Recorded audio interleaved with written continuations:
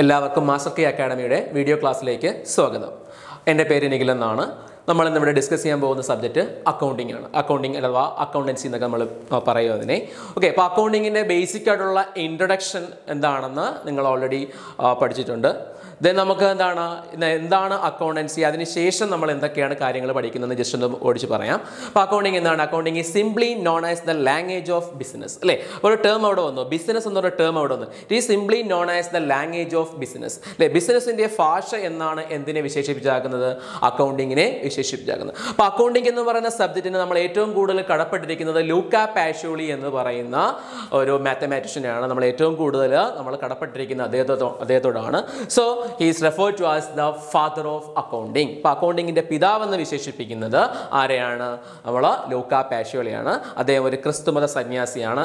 Okay അപ്പോൾ നമുക്ക് അതിനുശേഷം നമ്മൾ അദ്ദേഹം കൊണ്ടുവന്ന കാര്യങ്ങളെല്ലാം ഓൾറെഡി പല പല അതിന്റെ ടോപ്പിക്സുകൾ അതിന്റെ എന്തൊക്കെയാണ് അതിന്റെ കൺസെപ്റ്റുകൾ അതിന്റെ കൺ ഗ്യാപ്പ് എന്ന് പറഞ്ഞ് നമ്മൾ പഠിച്ചിട്ടുണ്ട് അല്ലേ?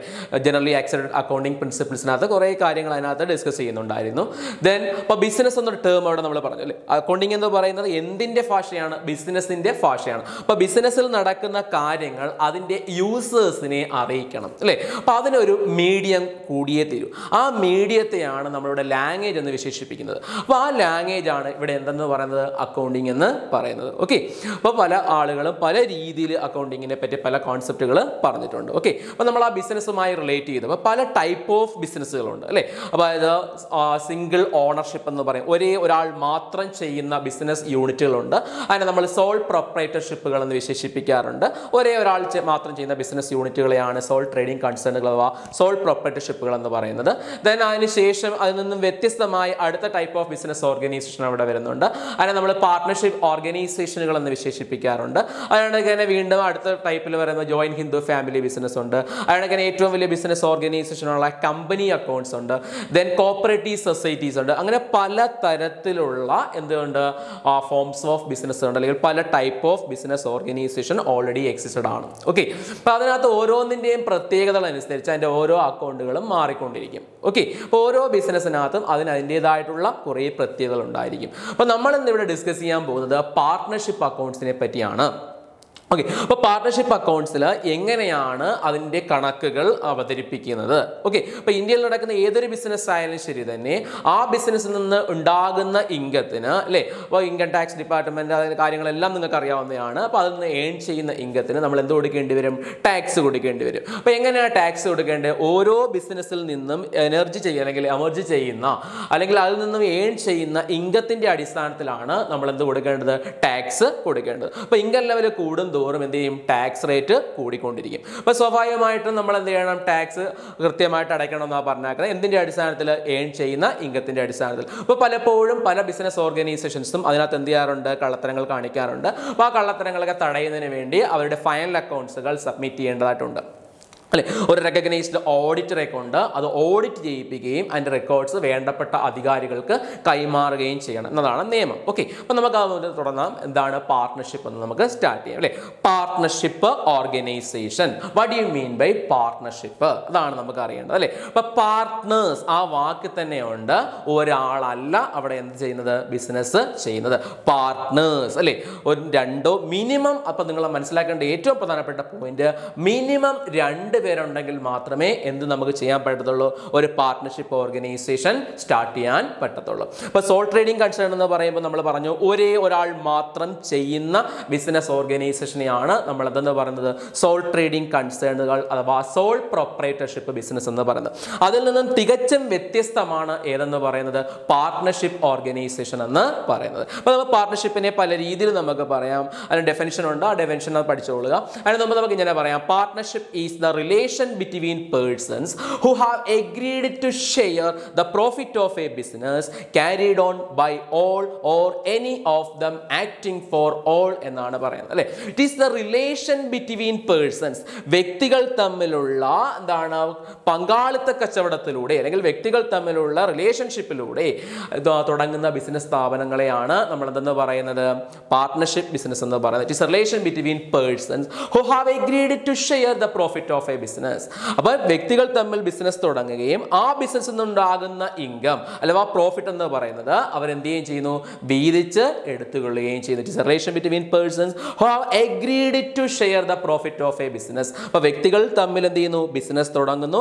ആ ബിസിനസ്സിൽ നിന്നുണ്ടായ ഇൻകം അഥവാ പ്രോഫിറ്റ് പ്രോഫിറ്റ് ആയിക്കൊള്ളട്ടെ നഷ്ടമായിക്കൊള്ളട്ടെ അവരെന്ത് ചെയ്യുന്നു എഗ്രി ചെയ്യുന്നു. അവർ ഉടമ്പടി പറയുന്നു. നമ്മൾ വീതിച്ചെടുത്തുകൊള്ളാം. Agree share the profit of a business carried on by all or any of them acting for all അപ്പം മിനിമം രണ്ട് പേര് വേണമെന്നാണ് എന്ത് പറയുന്നത്? പാർട്ട്ണർഷിപ്പ് ബിസിനസ് തുടങ്ങണമെങ്കിൽ മിനിമം രണ്ട് പേര് വേണം. അപ്പം മാക്സിമം ലിമിറ്റിനെ പറ്റി അവിടെ പറയുന്നുണ്ട്. ഓക്കെ അപ്പം ഇനി ഇവിടെ ഓരോ പോയിന്റുകൾ നമ്മൾ പ്രത്യേകം പ്രത്യേകം പറഞ്ഞു പോവുകയാണ്. The minimum number required to form a partnership business is two അതൊരു ക്വസ്റ്റ്യൻ ആണ്. ഒരു പാർട്ട്ണർഷിപ്പ് ബിസിനസ് തുടങ്ങാൻ മിനിമം എത്ര പേര് വേണം? രണ്ട് പേര് നിർബന്ധമാണ്. അതൊരു ഒബ്ജക്റ്റീവ് ടൈപ്പ് ക്വസ്റ്റ്യൻ ആണ്. അത് മനസ്സിലാക്കി വയ്ക്കുക ഇനി അവിടെ തന്നെ നിങ്ങൾ ഏറ്റവും പ്രധാനപ്പെട്ട വേറൊരു ക്വസ്റ്റ്യൻ അവിടെ വരുന്നുണ്ട്. മിനിമം നമ്പർ രണ്ടാണെന്ന് പറയുന്നത് ഏത് ആക്ടിനകത്താണ്? പാർട്ട്ണർഷിപ്പ് ടൈപ്പ് ഓഫ് ബിസിനസ്സിനകത്ത് മിനിമം നമ്പർ അല്ലെങ്കിൽ മിനിമം നമ്പർ റിക്വയർഡ് പേഴ്സൺ രണ്ടാണെന്ന് പറയുന്നത് ഏത് ആക്ടിനകത്താണ്? മനസ്സിലായിക്കൊള്ളുക ആയിരത്തി തൊള്ളായിരത്തി മുപ്പത്തിരണ്ടിലെ പാർട്ട്ണർഷിപ്പ് ആക്ട് പ്രകാരമാണ് മിനിമം രണ്ട് പേരെന്ന് പറയുന്നത്. അപ്പോൾ നിങ്ങൾ ചോദിക്കും മാക്സിമം എത്ര പേരാണെന്ന് അല്ലേ? അപ്പോൾ പണ്ട് നേരത്തെ ആണെങ്കിൽ മാക്സിമം നമ്പർ രണ്ട് കാറ്റഗറി ആയിട്ട് തിരിച്ചിട്ടുണ്ട്. Maximum number in the case of a banking business is ten and in the case of a non banking business is twenty എന്നൊരു ഉണ്ടായിരുന്നു. ട്വന്റി എന്നൊരു കൺസെപ്റ്റ് ഉണ്ടായിരുന്നു. പക്ഷേ ഇന്ന് അതെല്ലാം മാറി. ഇത് ഹൺഡ്രഡ് ആയിട്ട് ചുരുക്കിയിട്ടുണ്ട്. അപ്പോൾ മാക്സിമം നമ്പർ എത്രയാണ്? ഹൺഡ്രഡ് അപ്പോൾ നിങ്ങൾ അങ്ങനെ ഒരു ക്വസ്റ്റ്യൻ വരികയാണെങ്കിൽ മാക്സിമം നമ്പർ ഹൺഡ്രഡ് ആണ് ഓപ്ഷനിലുള്ളതെങ്കിൽ അത് നിങ്ങൾ എഴുതുക. ഓക്കെ അപ്പോൾ മിനിമം നമ്പർ രണ്ടാണ്. മാക്സിമം നമ്പർ എത്രയാണ്? ഹൺഡ്രഡ് ആണ്. ഓക്കെ ഇനി നമ്മൾ പറയാൻ പോകുന്നത് സോൾ പ്രൊപ്പറേറ്റർഷിപ്പ് അഥവാ sole trading concern single business ചെയ്യുന്ന ആളെ നമ്മൾ എന്തെന്ന് പറയുന്നത് സോൾ ട്രേഡർ അല്ലെങ്കിൽ സോൾ പ്രൊപ്പറേറ്റർ എന്ന് നമ്മൾ വിശേഷിപ്പിക്കുമായിരുന്നു അങ്ങനെയാണെങ്കിൽ പാർട്ട്ണർഷിപ്പ് ബിസിനസ് ചെയ്യുന്ന ആളുകളെ എന്തെന്നാ പറയുക? ദേ ആർ കാൾഡ് പാർട്ട്നേഴ്സ് അവരെ നമ്മൾ എന്ത് പറയും? പാർട്ട്നേഴ്സ് എന്ന് പറയും അല്ലേ? ഒരാളെ ഒരു എ ബി സി മൂന്ന് പേരുണ്ടെങ്കിൽ എ ഒരു പാർട്ട്ണറാണ് ബി ഒരു പാർട്ട്ണറാണ് സി ഒരു പാർട്ട്ണറാണ് അല്ലേ? ഇപ്പം നമ്മൾ അവരെ പാർട്ട്നേഴ്സ് എന്നാണ് വിശേഷിപ്പിക്കുന്നത് they are collectively called as firm അത് ഒരു ക്വസ്റ്റ്യൻ ആണ്. അല്ലേ? കളക്റ്റീവ്ലി കാൾഡ് ആസ് ഫേം അല്ലേ? അവരെ ഒരുമിച്ച് ചേർത്ത് നമുക്ക് എന്തെന്ന് പറയാം? ഫേം എന്ന് വിശേഷിപ്പിക്കാം. അപ്പോൾ ഇത്രയാണ് ബേസിക് ആയിട്ട് ഇവിടെ പറയുന്നത്. തിരിച്ച് നോക്കിക്കോളുക partnership is an association of two or more persons to carry on a legal business and share its profit or losses അപ്പോൾ ഞാൻ ആദ്യം പറഞ്ഞ ബേസിക് ആയിട്ടുള്ള ഐഡിയ നിങ്ങൾക്ക് ക്രിയേറ്റ് ചെയ്തതെന്നാണ് ദെൻ ഇതിനടുത്ത നമ്മൾ സെന്റൻസ് വൈസ് നോക്കുക. A partnership firm is an association association means കൂടിച്ചേരൽ അല്ലേ? അസോസിയേഷൻ ഓഫ് കേട്ടോ ടു ഓർ മോർ പേഴ്സൺസ് എന്നാ പറഞ്ഞത് ഒരാളല്ല രണ്ടോ അതിലധികമോ ആളുകൾ ആളുകളുടെ പങ്കാളിത്തമാണ് എന്തെന്ന് പറയുന്നത്? പാർട്ട്ണർഷിപ്പ് എന്ന് പറയുന്നത്. എങ്ങനെ? To carry on a legal business എന്തിനു വേണ്ടി തന്നെ ആയിരിക്കണം ലോഫുൾ ബിസിനസ് ആയിരിക്കണം. ലീഗൽ ബിസിനസ് തന്നെ ആയിരിക്കണം and share its profit or loss അല്ലേ അതിലുണ്ടാകുന്ന ലാഭനഷ്ടങ്ങൾ അതിനകത്ത് പാർട്ട്നേഴ്സ് എങ്ങനെ വീതിച്ചിടണം അവരുടെ പറഞ്ഞിരിക്കുന്ന എഗ്രീഡ് റേഷ്യോ പ്രകാരം വീതിച്ച് എടുത്തുകൊള്ളണം. അപ്പോൾ അവിടെ തന്നെ ഒരു വലിയ പോയിന്റ് നമ്മൾ പഠിക്കുന്നുണ്ട്. അവിടെ ഒരു വാക്ക് ഞാൻ ഇപ്പോൾ പറഞ്ഞു എഗ്രീഡ് റേഷ്യോ എന്ന് ഞാൻ പറഞ്ഞിട്ടുണ്ട്. ഓക്കെ ഇപ്പം നമ്മൾ കുറച്ച് കഴിയുമ്പോൾ പറയാം അങ്ങനെ ഒരു റേഷ്യോ ഇല്ല എങ്കിൽ എന്ത് ചെയ്യും? അപ്പോൾ ഇപ്പം തന്നെ എന്റെ ആൻസറും പറഞ്ഞു നമുക്ക്. അങ്ങനെ ഒരു എഗ്രിമെന്റ് ഇല്ല എങ്കിൽ ഒരു കരാറില്ല എങ്കിൽ നമുക്ക് എന്ത് ചെയ്യേണ്ടി വരും? The partners should divide the profit and losses equally എന്ന് പഠിച്ചോളുക. ഓക്കെ അപ്പോൾ അതൊരു ക്വസ്റ്റ്യൻ ആണ്. ദെൻ അടുത്ത് നോക്കി the persons who join together to do a business are individually known as partners and collectively a firm അല്ലേ? അപ്പോൾ പാർട്ട്ണർഷിപ്പ് ബിസിനസ്സിൽ എൻഗേജ് ചെയ്തിരിക്കുന്ന വ്യക്തികളെ നമുക്ക് എന്തെന്ന് പറയാം? വ്യക്തിപരമായിട്ട് അവരെ നമുക്ക് പാർട്ട്ണർമാരെന്നും കളക്റ്റീവ്ലി മൊത്തത്തിൽ നമുക്ക് അവരെ എന്തെന്നും പറയാം? ഫേം എന്നും വിശേഷിപ്പിക്കാം. ഇതാണ് ഫസ്റ്റ് കാറ്റഗറിയിൽ നമ്മൾ നോക്കുന്നത്. ഓക്കെ ദെൻ നമുക്ക് അടുത്ത ഏരിയയിലോട്ട് പോവാം. ഓക്കെ ദെൻ അതിന്റെ ഡെഫിനിഷനാണ് ഓക്കെ അപ്പോൾ അതിനകത്ത് നമ്മൾ പഠിക്കേണ്ടതെന്ന് വെച്ചാൽ അവിടെ വരാൻ പോകുന്ന ക്വസ്റ്റൻ എന്ന് പറയുന്നത് ഡെഫിനേഷൻ ഓൾറെഡി ഞാൻ ഇപ്പോൾ പറഞ്ഞതാണ്. അല്ലാതെ ഏറ്റവും പ്രധാനപ്പെട്ട പോയിന്റ് എന്ന് പറയുന്നത് അക്കോർഡിംഗ് ടു സെക്ഷൻ ഫോർ എന്ന് പറയുന്നത് അല്ലേ? ആ section four of the Indian partnership act nineteen thirty two അത് ഒരു ആക്ട് വരുമ്പോൾ അതിനകത്ത് ഒരുപാട് സെക്ഷനുകൾ കാണും സബ് സെക്ഷനുകൾ കാണും. അപ്പോൾ നിങ്ങൾക്ക് വരാൻ പോകുന്ന ക്വസ്റ്റൻ എന്ന് പറയുന്നത് ഏത് സെക്ഷനിലാണ് ഇത് പറയുന്നത്? ഏത് ആക്ടിലെ ഏത് സെക്ഷനിലാണ് പറയാൻ പോകുന്നത്? അപ്പോൾ according to section four of the Indian partnership act nineteen thirty two ആയിരത്തി തൊള്ളായിരത്തി മുപ്പത്തിരണ്ടിലെ പാർട്ണർഷിപ്പ് ആക്ടിലെ സെക്ഷൻ ഫോറിലാണ് എന്തിനെ പറ്റി ഡിഫൈൻ ചെയ്തിരിക്കുന്നത്? പാർട്ണർഷിപ്പിനെ പറ്റി ഡിഫൈൻ ചെയ്തിരിക്കുന്നത്. നോക്കാം നമുക്ക്. The term partnership is a relation between two or more persons രണ്ടോ അതിലധികമോ ആളുകളുടെ റിലേഷൻഷിപ്പ് മീൻസ് പങ്കാളിത്തം. Who have agreed to share the profit of the business അവർ അതിൽ നിന്നുണ്ടാകുന്ന പ്രോഫിറ്റ് അവർ എന്ത് ചെയ്യുന്നു? വീതിച്ചെടുത്തുകൊള്ളാം എന്ന് പറയുന്നു. Carried on by all or any of them acting for all that's a very important point അല്ലേ?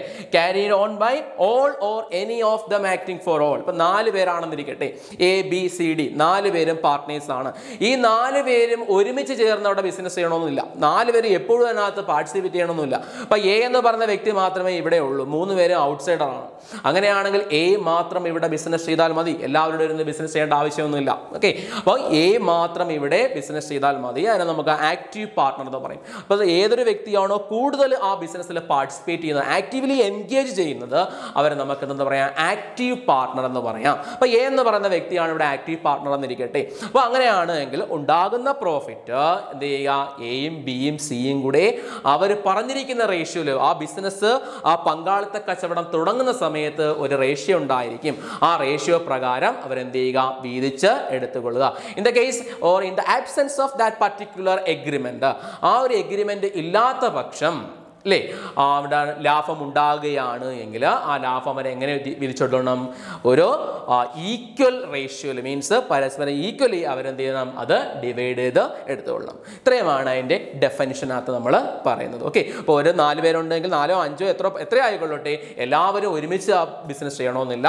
ഒരാൾ മാത്രം ചെയ്താലും മതി. ആ ഉണ്ടാകുന്ന പ്രോഫിറ്റ് അല്ലെങ്കിൽ ലോസ് മറ്റുള്ളവരുടെ ഷെയർ ചെയ്തെടുക്കണമെന്ന് മാത്രം. ഓക്കെ ദെൻ അപ്പോൾ അവിടെ തന്നെ ഒരുപാട് കാറ്റഗറീസ് നമുക്ക് ഇനി അതിനെ തിരിഞ്ഞ് തിരിഞ്ഞ് പോകാൻ പറ്റും. അപ്പോൾ ആരാണോ ആക്റ്റീവ്ലി പാർട്ടിസിപ്പേറ്റ് ചെയ്യുന്നത് അയാളെ നമ്മൾ ആക്റ്റീവ് പാർട്ണർ എന്ന് പറയും. പിന്നെ അതിന് സ്ലീപ്പിംഗ് പാർട്ണർ ഉണ്ട് പാർട്ണർ ബൈ ഹോൾഡിംഗ് ഔട്ട് ഉണ്ട് പാർട്ണർ ബൈ എസ്റ്റോപ്പൽ ഉണ്ട് അങ്ങനെ പല പല ടൈപ്സ് നമ്മൾ അങ്ങനെ ചിന്തിച്ച് ചിന്തിച്ച് പോവുകയാണെങ്കിൽ അങ്ങനെ അങ്ങനെ നമുക്ക് പോകും. ഓക്കെ അപ്പോൾ നമുക്കിവിടെ സബ്ജക്റ്റ് ഓറിയന്റഡ് ആയിട്ട് സിലബസ് ഓറിയന്റഡ് ആയിട്ട് നമുക്ക് കവർ ചെയ്ത് പോകാം ഓക്കെ ഇതെ അപ്പോൾ നമുക്ക് ഇനി അടുത്ത ഏരിയയിലോട്ട് പോവാം.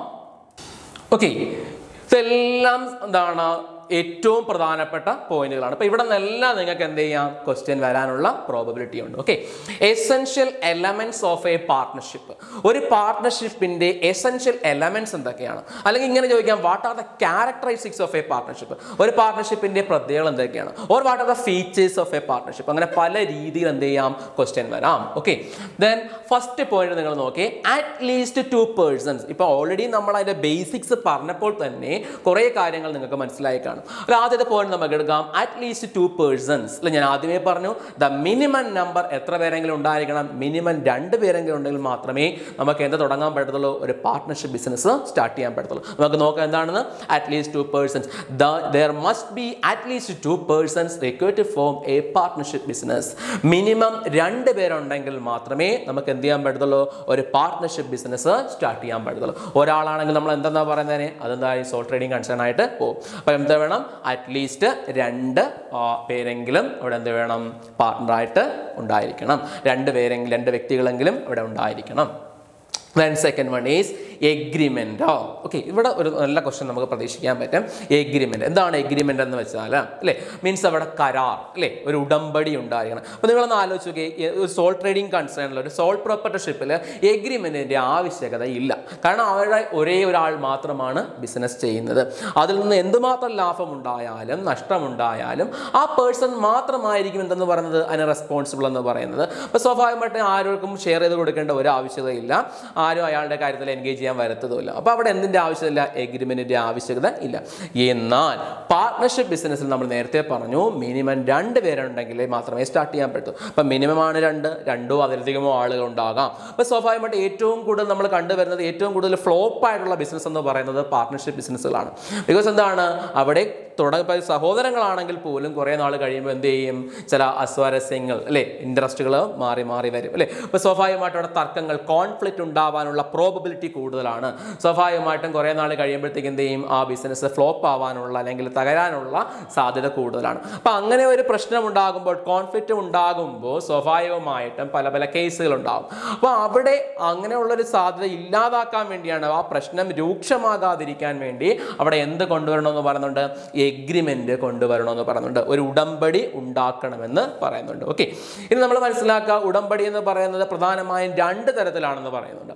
It may be oral or it may be in the form of return. അല്ലേ? ഒന്നുകിൽ എന്ത് ചെയ്യാം? വാക്കാൽ പറയാം. ഓറൽ സ്റ്റേറ്റ്മെന്റുകളായിരിക്കാം അല്ലെങ്കിൽ എന്തായിരിക്കാം? റിട്ടേൺ ഡോക്യുമെന്റുകളായിരിക്കാം അപ്പം നിങ്ങൾക്ക് തന്നെ അറിയാം? ഓറൽ ആണ് എങ്കിൽ എന്താ പ്രത്യേകത? വാക്കാണ്. എപ്പോൾ വേണമെങ്കിലും എന്ത് ചെയ്യാം? അത് മാറ്റാം. There is no clear evidence എന്തില്ല?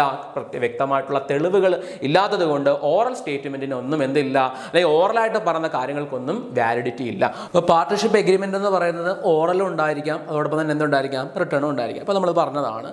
ഇനി നോക്കിക്കൊള്ളുക the written partnership agreement is called partnership deed അല്ലേ? അപ്പോൾ എഴുതപ്പെട്ട ആ എഗ്രിമെന്റിന് നമുക്ക് എന്തെന്ന് പറയാം? പാർട്ട്ണർഷിപ്പ് ഡീഡ് എന്ന് പറയാം.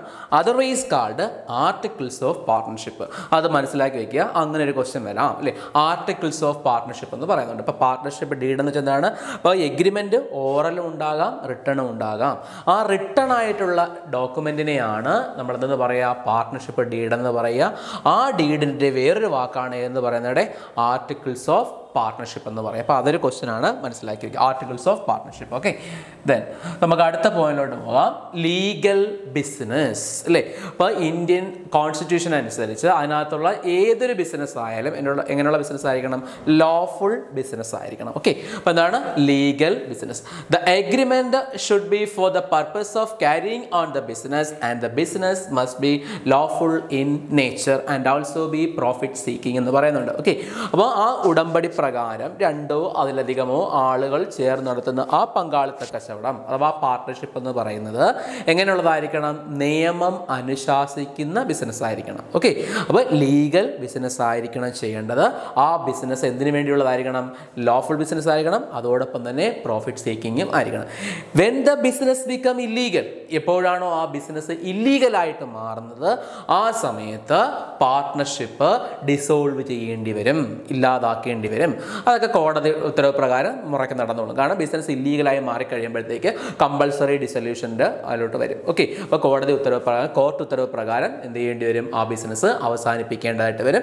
ആ ബിസിനസ്സിന്റെ വൈൻഡിങ്ങെ പിന്നെ നമ്മൾ നമ്മൾ ഡിസൊല്യൂഷൻ എന്നൊക്കെ പറയും. ആ ബിസിനസ് ഇല്ലാതാകുന്നതിന് പാർട്ട്ണർഷിപ്പ് ബിസിനസ് ഇല്ലാതാകുന്നതിന് ഡിസൊല്യൂഷൻ എന്നൊക്കെ പറയും. അത് നമ്മൾ വരാൻ പോകുന്ന ഏരിയസിൽ അത് ഡിസ്കസ് ചെയ്യും. ഓക്കെ അപ്പോൾ നമ്മളിപ്പോൾ ഏത് പറഞ്ഞു? ലീഗൽ ബിസിനസ് പറഞ്ഞു. Then next one mutual agency okay mutual agency relationship okay ഇതെന്ന് ചോദിക്കാൻ ഏറ്റവും കൂടുതൽ സാധ്യതയുള്ള ക്വസ്റ്റ്യൻ ആണ് ഒരു പാർട്ട്ണർഷിപ്പ് ഓർഗനൈസേഷനിൽ പാർട്ട്നേഴ്സ് തമ്മിലുള്ള റിലേഷൻഷിപ്പ് എങ്ങനെയായിരിക്കും അപ്പോൾ എങ്ങനെയുള്ളതായിരിക്കും? മ്യൂച്വൽ ഏജൻസി റിലേഷൻഷിപ്പാണ് അവിടെ പറയുന്നത്. ദാറ്റ് മീൻസ് ഒരു പ്രിൻസിപ്പൽ ഏജൻസി റിലേഷൻഷിപ്പ് ഒരു പ്രിൻസിപ്പൽ ഏജന്റ് റിലേഷൻഷിപ്പ് ആയിരിക്കും പാർട്ട്നേഴ്സ് തമ്മിൽ ഉണ്ടായിരിക്കുക. അപ്പോൾ പറഞ്ഞു പോകുന്ന പോയിന്റുകളെല്ലാം വരാൻ സാധ്യതയുള്ള ക്വസ്റ്റ്യനും പറഞ്ഞാണ് പോകുന്നത് അപ്പോൾ അത്രയും കെയർ ആയിട്ട് നോക്കിക്കൊള്ളുക അപ്പോൾ മ്യൂച്വൽ ഏജൻസി റിലേഷൻഷിപ്പിനകത്ത് പറയുന്നത് എന്താണ്? ആ This it means that each partner is both an agent or the principal ഒരേ സമയം തന്നെ അവരെന്താണ്? പാർട്ട്ണർ പ്രിൻസിപ്പളുമാണ് അതേ സമയം തന്നെ അവർ ഏജന്റുമാണ് പാർട്ട്നേഴ്സ് തമ്മിൽ പ്രിൻസിപ്പൽ ഏജന്റ് റിലേഷൻഷിപ്പ് ആയിരിക്കും ഉണ്ടായിരിക്കുക. അപ്പോൾ അവിടെ ക്വസ്റ്റ്യൻസ് പല ഓപ്ഷൻ വരാൻ debtor creditor relationship seller buyer relationship അതിനൊക്കെ ഇനി ആണ് പ്രിൻസിപ്പൽ ഏജന്റ് റിലേഷൻഷിപ്പ് ഒരു പാർട്ണർഷിപ്പ് ഓർഗനൈസേഷനിൽ പാർട്ട്നേഴ്സ് തമ്മിലുള്ള റിലേഷൻഷിപ്പ് എന്ത് തന്നെയായിരിക്കും പ്രിൻസിപ്പൽ ഏജന്റ് റിലേഷൻഷിപ്പ് ആയിരിക്കും. അതൊരു ക്വസ്റ്റ്യൻ ആണ്. നല്ലൊരു ക്വസ്റ്റ്യൻ ആണ്. അത് പഠിച്ചോളൂ ഓക്കെ ദെൻ പ്രോഫിറ്റ് ഷെയറിങ് അല്ലേ? ഒരു പാർട്ട്ണർഷിപ്പ് ബിസിനസ് ആണ്. അപ്പോൾ സ്വാഭാവികമായിട്ടും അവിടെ ലാഭം ഉണ്ടാവുകയാണ് എങ്കിൽ ആ ലാഭം എങ്ങനെ വീതിക്കണമെന്ന് ഞാൻ ആദ്യമേ പറഞ്ഞു. അല്ലേ? ഇഫ് ആൻ എഗ്രീഡ് റേഷ്യോ ഒരു എഗ്രീഡ് റേഷ്യോ ഉണ്ട് എങ്കിൽ ആ റേഷ്യോ പ്രകാരമായിരിക്കണം എന്ത് ചെയ്യേണ്ടത്? ലാഭനഷ്ടങ്ങൾ വീതിക്കേണ്ടത് ലാഭം വീതിക്കേണ്ടത്. അപ്പോൾ in the absence of that particular agreement or partnership deed partnership deed ഇല്ലാത്ത പക്ഷം എഗ്രിമെന്റ് ഇല്ലാത്ത പക്ഷം അവരെങ്ങനെ വീതിക്കണമെന്ന് പറഞ്ഞിട്ടുണ്ട്? Partners can divide the profit and losses equally എന്ന് പറഞ്ഞിട്ടുണ്ട് അല്ലേ? അപ്പോൾ നമുക്ക് നോക്കാം. The partners must share the profit and losses in an agreed ratio as per the partnership deed. ലാഭം ഉണ്ടാവുകയാണെങ്കിൽ എഗ്രിമെന്റ് അഥവാ റിട്ടേൺ എഗ്രിമെന്റിൽ പറഞ്ഞിരിക്കുന്ന രീതിയിൽ ആ വിധിച്ചു കൊള്ളുക. ഓ in the absence of an agreement the partners should decide the profit and losses equally അപ്പം ആ ഒരു ഡോക്യുമെന്റ് ഇല്ലാത്ത പക്ഷം എഗ്രിമെന്റ് ഇല്ലാത്ത പക്ഷം അവരെങ്ങനെ വീതിക്കണം? അത് ഈക്വലായിട്ട് വീതിക്കണം. ഓക്കെ അപ്പോൾ അവിടെ ഒരു ക്വസ്റ്റ്യൻ ഉണ്ടായിരിക്കും. പാർട്ട്ണർഷിപ്പ് ഡീഡിന്റെ ആബ്സെൻസിൽ പാർട്ട്നേഴ്സ് എങ്ങനെയായിരിക്കും ലാഭം വീതിക്കുന്നത്? എങ്ങനെയായിരിക്കും ഈക്വലി ആയിരിക്കും. ഓക്കെ ഇത്. ദെൻ നമ്പർ ഓഫ് പേഴ്സൺസ് ഇത് ഞാൻ നമ്മൾ ആദ്യമേ പറഞ്ഞതാണ്. The minimum number required form a partnership business is two അല്ലേ? ദെൻ മാക്സിമം നമ്പർ എന്ന് പറയുന്നത് ഹൺഡ്രഡ് ആണെന്ന് ആദ്യമേ ഞാൻ പറഞ്ഞായിരുന്നു അല്ലേ? അപ്പോൾ പഴയ ടെസ്റ്റുകളിലൊക്കെ അതായത് പ്ലസ് ടു അങ്ങനെയുള്ള ടെസ്റ്റുകളിലൊക്കെ ഇപ്പോഴും പറഞ്ഞേക്കുന്നത് ബാങ്കിങ് ബിസിനസ്സിൽ പത്ത് നോൺ ബാങ്കിങ് ബിസിനസ്സിൽ ഇരുപത് എന്നുള്ള രീതിയിലാണ് പറഞ്ഞേക്കുന്നത്. പക്ഷേ ഞാൻ അപ്ഡേഷൻ അനുസരിച്ച് ഇപ്പോൾ എന്താ പറഞ്ഞേക്കുന്നത്? മാക്സിമം നമ്പർ ഹൺഡ്രഡ് ആയിട്ട് പറഞ്ഞിട്ടുണ്ട്. ഓക്കെ അപ്പോൾ അവിടെ തന്നെ ഞാൻ തുടങ്ങിയപ്പോഴേ പറഞ്ഞു മിനിമം നമ്പർ സ്പെസിഫൈ ചെയ്യുന്നത് പാർട്ട്ണർഷിപ്പ് ആക്ട് പ്രകാരവും മാക്സിമം നമ്പർ സ്പെസിഫൈ ചെയ്യുന്നത് കമ്പനീസ് ആക്ട് പ്രകാരവുമാണ്. അത് ഏറ്റവും പ്രധാനപ്പെട്ട ക്വസ്റ്റൻ ആണ്. അത്രയും നന്നായിട്ട് പഠിച്ചോളുക. Okay the number of persons നോക്കി the minimum number required to form a partnership business is two minimum എത്ര പേര് വേണം? രണ്ട് പേരുണ്ടെങ്കിലേ പാർട്ട്ണർഷിപ്പ് ബിസിനസ് തുടങ്ങാൻ പറ്റുള്ളൂ. The maximum number is hundred maximum number എത്രയാണ്? ഹൺഡ്രഡ് ആണ്. ബ്രാക്കറ്റിൽ എടുത്ത് പറഞ്ഞിട്ടുണ്ട് കമ്പനീസ് ആക്ട് രണ്ടായിരത്തി പതിമൂന്ന് അപ്പോൾ അത് മറന്നു പോകാൻ പാടില്ല. മിനിമം നമ്പറിനെ പറ്റി പറയുന്നത് പാർട്ട്ണർഷിപ്പ് ആക്ടിലും മാക്സിമം നമ്പറിനെ പറ്റി പറയുന്നത് കമ്പനീസ് ആക്ട് രണ്ടായിരത്തി പതിമൂന്നിലെ കമ്പനീസ് ആക്ടിലുമാണ് അത് ഏറ്റവും പ്രധാനപ്പെട്ട അതൊരു ക്വസ്റ്റ്യൻ ഉണ്ടാവാം. അപ്പോൾ ആ- ഒരു ക്വസ്റ്റൻ നമുക്ക് പ്രതീക്ഷിക്കാം. ഓക്കെ അപ്പോൾ മിനിമം നമ്പർ പറയുന്നത് പാർട്ട്ണർഷിപ്പ് ആക്ടിലും മാക്സിമം നമ്പർ പറയുന്നത് കമ്പനീസ് ആക്ടിലുമാണ് ഇത്രയാണ് അതിന്റെ എസെൻഷ്യൽ എലമെന്റ്സ് എന്ന് പറയുന്നത്. ദെൻ ഒരെണ്ണം കൂടെ നിങ്ങൾ വേണമെങ്കിൽ പഠിച്ച് വെച്ചാക്കുക. ഞാൻ ജസ്റ്റ് എന്നൊക്കെ പറഞ്ഞിട്ടില്ല. അറ്റ്മോസ്റ്റ് ഗുഡ് ഫെയ്ത്ത് എന്ന് പറയും. പരമമായിട്ടുള്ള വിശ്വാസം. ഒരു പാർട്ട്ണർഷിപ്പ് ഓർഗനൈസേഷനെ സംബന്ധിച്ചോളം പാർട്ട്നേഴ്സ് ആണ് അവരുടെ എന്ന് പറയുന്നത് ഓണേഴ്സ് എന്ന് പറയുന്നത്. അപ്പോൾ സ്വാഭാവികമായിട്ടും പരസ്പര വിശ്വാസമാണ് പാർട്ട്ണർഷിപ്പ് ബിസിനസിന്റെ ഏറ്റവും പ്രധാനപ്പെട്ട കാതൽ എന്ന് പറയുന്നത്. ഓക്കെ അപ്പോൾ സ്വാഭാവികമായിട്ടും ആ പാർട്ട്നേഴ്സ് തമ്മിൽ എന്താണ്? പരസ്പരം ട്രസ്റ്റ് ഉണ്ടായിരിക്കണം. പരസ്പര വിശ്വാസം ഉണ്ടായിരിക്കണം. അതുകൊണ്ട് അറ്റ്മോസ്റ്റ് ഗുഡ് ഫെയ്ത്ത് അഥവാ പരമമായ വിശ്വാസം എന്നുള്ളൊരു പോയിന്റ് കൂടെ വേണോ? നിങ്ങൾക്ക് എന്ത് ചെയ്യാം? അതിനകത്ത് ആഡ് ചെയ്യാം. ഓക്കെ